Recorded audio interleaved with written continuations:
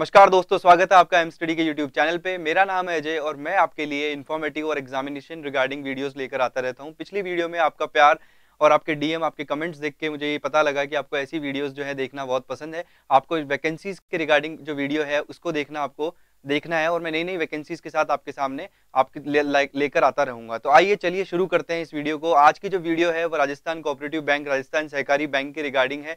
जो वैकेंसी जो है राजस्थान सहकारी बैंक जयपुर ने निकाली है पूरे राजस्थान में उसके रिगार्डिंग में आपसे आज रूबरू होने वाला हूँ। तो आज की वीडियो को शुरू करते हैं। चलिए बिना समय वेस्ट किए आज की वीडियो को शुरू करते हैं। आज की जो वैकेंसी है वो है Rajasthan cooperative bank cooperative recruitment board Jaipur के रिगार्डिंग उसके रिगार्डिंग जो है मैं आपको आज बताने वाला हूँ क्या क्या इन्फॉर्मेशन है, जो भी है, वो सारी डिटेल जो है आप मेरी पीछे स्क्रीन पर देख पा रहे होंगे।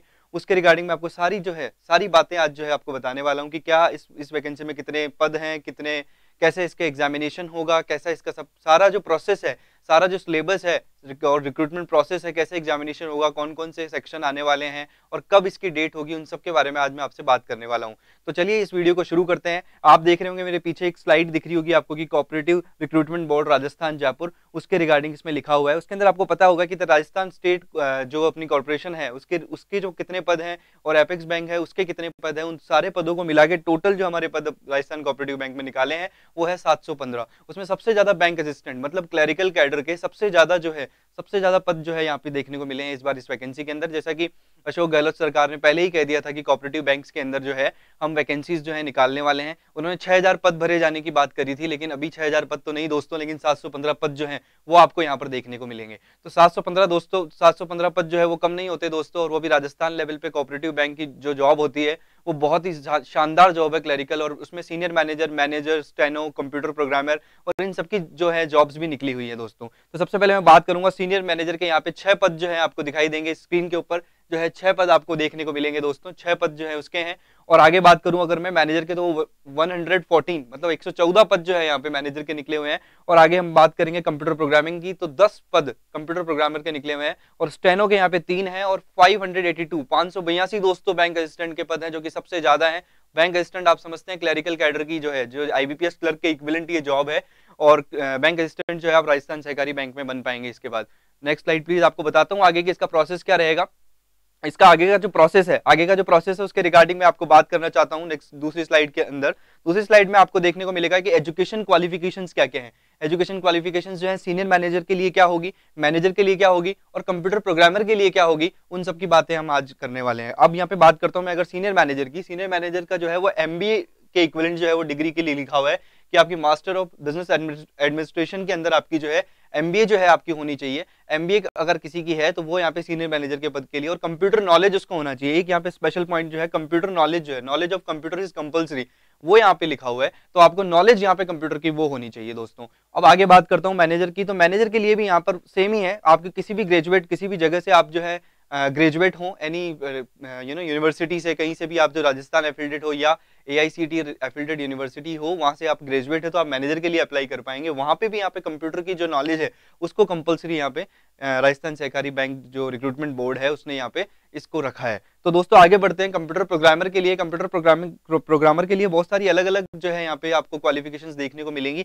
सबसे पहले अगर कोई बीटेक है बी है कंप्यूटर साइंस में आईटी में या अदर इक्विलेंट में तो वो इस फॉर्म को फिल कर पाएगा। उसके बाद अगर बात करूँ, अगर वन ईयर पीजीडीसीए कोर्स अगर किसी का है वन ईयर पीजीडीसीए कोर्स किसी ने किया हुआ है तो वो भी इस फॉर्म को यहाँ पे फिल कर पाएगा। और आगे अगर मैं बात करूँ तो अगर कोई ग्रेजुएट डिग्री है किसी की कॉमर्स के अंदर कॉमर्स के अंदर है, और साथ ही साथ इसके अंदर अगर बात करूँ मैं इकोनॉमिक्स के अंदर है तो वो भी इस फॉर्म को जो है फिल कर पाएगा। यहाँ पे कंप्यूटर प्रोग्रामर के लिए अप्लाई कर सकता है, जो कि आपको बताई, बताया दोस्तों मैंने कि कितनी वैकेंसीज हैं सारी अलग अलग कैटेगरी की, चाहे सीनियर मैनेजर हो मैनेजर हो कंप्यूटर प्रोग्रामर हो स्टेनो हो, या फिर बैंक असिस्टेंट हो दोस्तों। तो टोटल यहाँ पे 715 पदों पर एक बम्पर वैकेंसी यहाँ पे राजस्थान के लिए यहाँ पे निकाली गई है दोस्तों।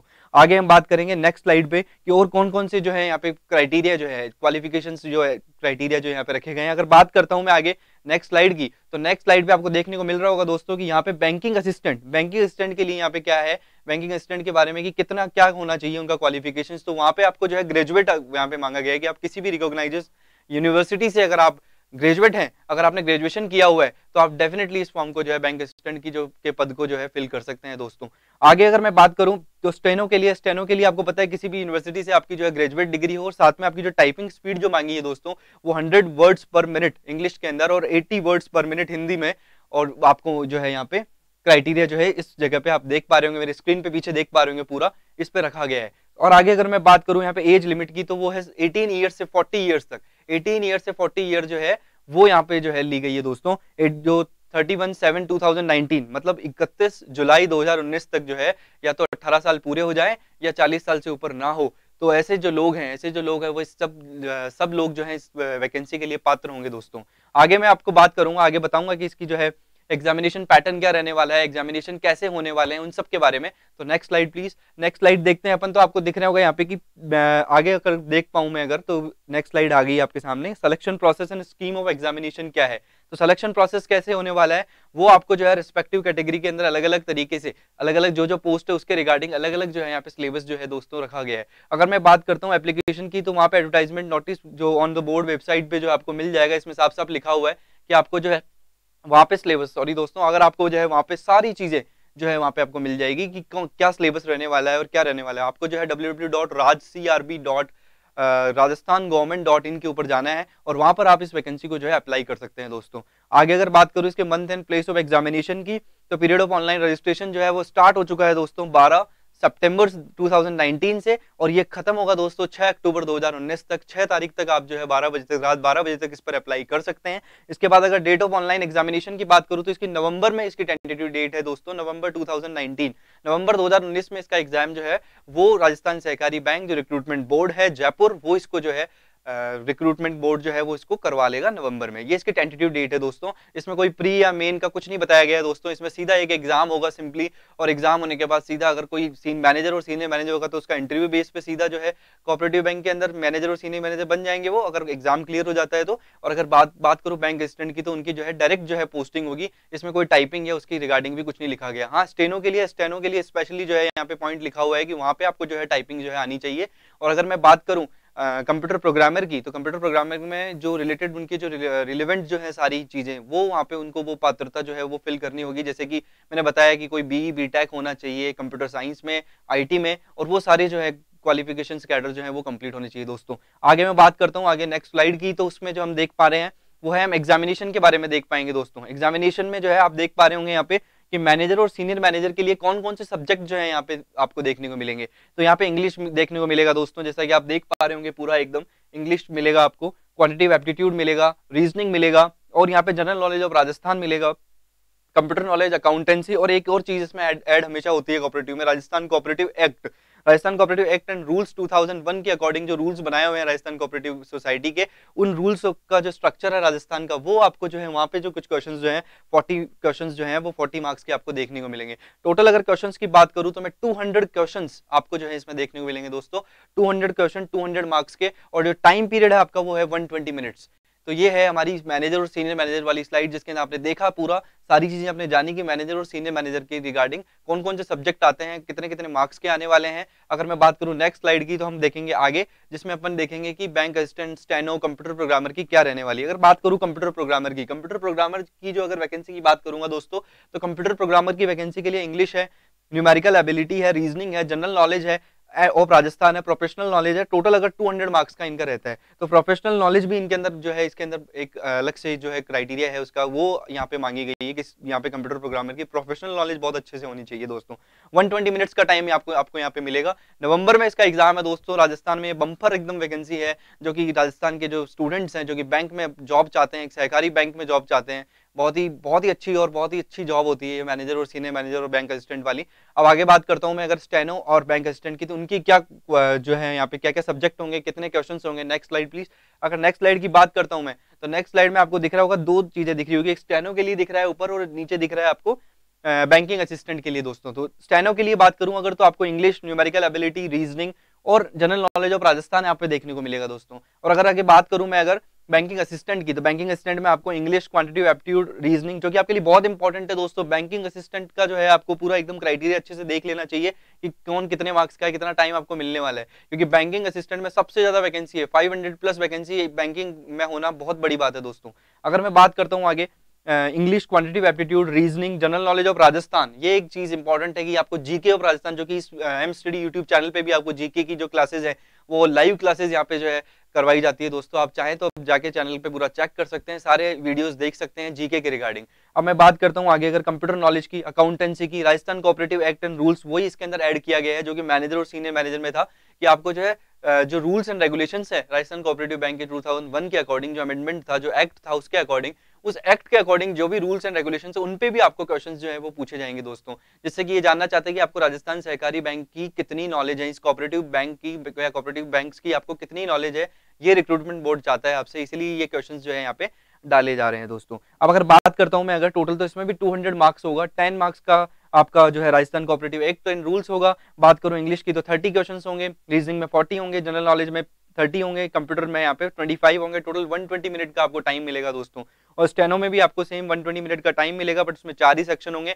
आप देख पा रहे होंगे पीछे इंग्लिश न्यूमेरिकल एबिलिटी रीजनिंग और जनरल नॉलेज ऑफ़ राजस्थान, यहाँ पे भी जीके आपको देखने मिली तो आपके लिए बहुत फ़ायदेमंद रहने वाला है एमस्टडी यूट्यूब चैनल जो घर बैठे ऑनलाइन तैयारी करा रहा है उन बच्चों को, जो कि दूर दराज या रिमोट एरियाज़ में है दोस्तों। तो आप जाइए एम स्टडी के चैनल को सब्सक्राइब करिए और उनको देखिए कि उसमें जितने भी जीके के जो भी वीडियोज़ हैं, उनको देखिए, जिससे कि आपको जो है सारी नॉलेज उसके रिगार्डिंग मिल पाए दोस्तों। आगे मैं बात करता हूँ नेक्स्ट स्लाइड की। तो यहाँ पर अगर मैं देख, आगे जो देखूँगा, उसमें एग्ज़ाम पैटर्न मैंने आपसे डिस्कस किया मैं सिलेबस के बारे में आपको बताने वाला हूँ कि क्या सिलेबस यहाँ पे रहने वाला है दोस्तों। अगर सिलेबस की बात करता हूँ तो इंग्लिश का जो सिलेबस है, वो सेकेंडरी एंड माध्यमिक लेवल मतलब सेकेंडरी लेवल की जो इंग्लिश होती है, उस पर आपको जो है सिलेबस जो है इंग्लिश के जो है क्वेश्चन जो है पूछे जाएँगे आपसे। अब बात करता हूँ मैं यहाँ पे क्वांटिटी एप्टीट्यूड की, जो ऑल इंडिया नेशनल बैंक जो है, यहाँ पे क्लरिकल जो लेवल होता है दोस्तों, अगर सिंपल सी बात अगर मैं बोलूँ तो क्लरिकल लेवल जो होता है, उसका आपको जो है क्वांटिटी एप्टीट्यूड मतलब मैथमेटिक्स का जो है क्वेश्चन आपसे पूछे जाएँगे। जो नॉर्मल अपने एस आई होते हैं परसेंटेज होते हैं, और जो नॉर्मल अपने टॉपिक्स होते हैं, दोस्तों, उसके रिगार्डिंग जो है आपसे यहाँ पे क्वेश्चन पूछे जाने वाले हैं। अगर आगे बात करूँ मैं रीजनिंग की तो रीजनिंग में आपको वही क्लैरिकल लेवल जो है रीजनिंग पजल्स वगैरह जो है, वो यहाँ पे देखने को मिलेगी आपको दोस्तों।